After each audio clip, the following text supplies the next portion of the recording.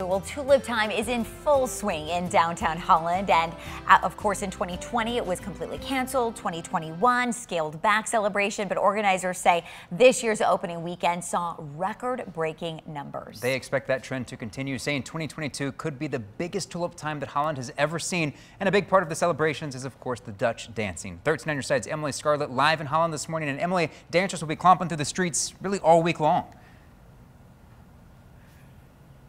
That's right. It's such a staple of Tulip Time with that oh so familiar sound that Jay is referencing. I spoke with the coordinator of Dutch Dance, excited for it to be back after having to take a two year break because of the pandemic. She tells me she cannot wait to hear those shoes hitting the pavement again.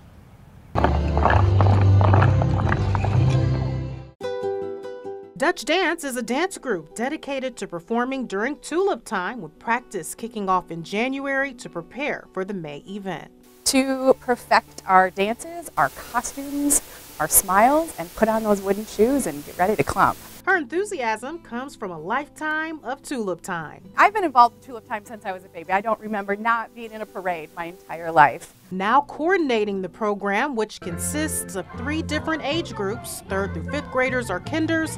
Middles refer to sixth through eighth graders. So we're thrilled to have all those little dancers on the street. And then the high schoolers, a group not seeing as many participants as in years past. So when I was in high school, we could fill all four sides of Centennial Park, all four streets, with just high school dancers. So at this point, we're high school and alumni combined. I know though that was the glory days, but I, I guarantee it's coming back. For any potential Dutch dancers out there still thinking about signing up, Tulip Time is is special in itself, but Dutch Dance adds another level of family. We have families that have kinder dancers, middle dancers, high school, and alumni all throughout, which is really special. They come for the tulips and for dancing, and I think we're going to provide that really well this year.